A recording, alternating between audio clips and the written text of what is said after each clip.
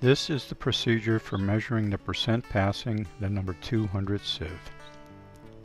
Equipment needed for this test. Electronic scale sensitive to 0.1 gram. Number 16 and number 200 sieves. Brushes for cleaning sieves and pans. A pan or bowl of sufficient size to contain the sample. A spatula for stirring the sample.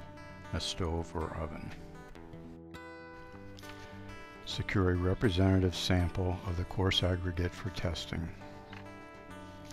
The minimum sample size after drying should be a 5,000 gram sample of 3 quarter inch plus coarse aggregate material, 2,500 gram sample of 3 quarter inch minus coarse aggregate material, 500 gram sample of the intermediate coarse aggregate material.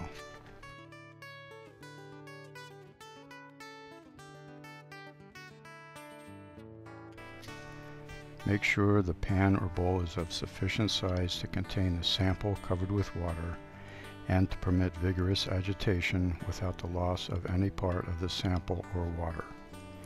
The original pan or bowl should be used throughout this testing procedure to prevent inadvertent loss of the material. Dry the sample to a constant weight and let cool.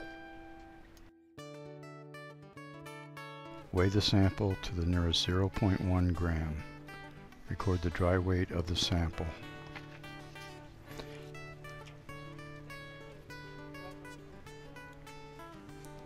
Add sufficient water to cover the sample.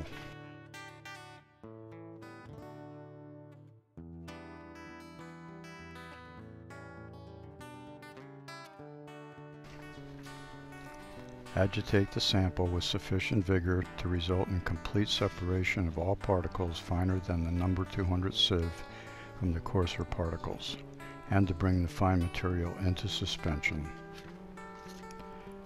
Pour the wash water slowly over the nested number 16 sieve and number 200 sieve, arranged with the coarser sieve on top. Repeat the washing process until the wash water becomes clear.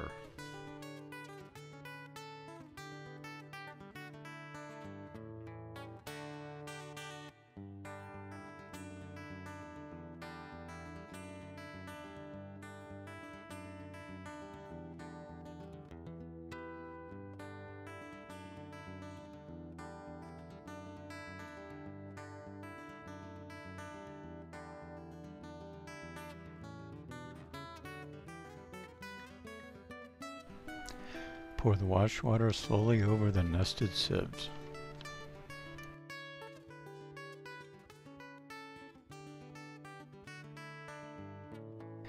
Wash the material retained on the sieves back into the sample.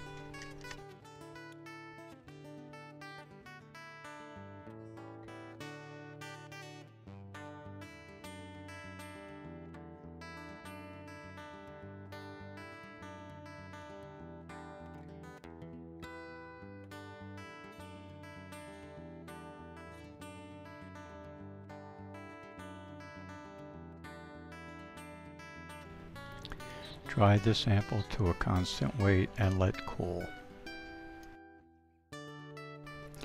Weigh the sample to the nearest 0.1 gram. Record the dry weight of the wash sample.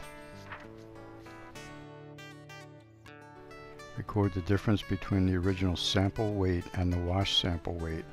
This is the loss in washing of the material passing the number 200 sieve. The percent passing the number 200 sieve is determined by dividing the loss in washing by the dry weight of the original sample.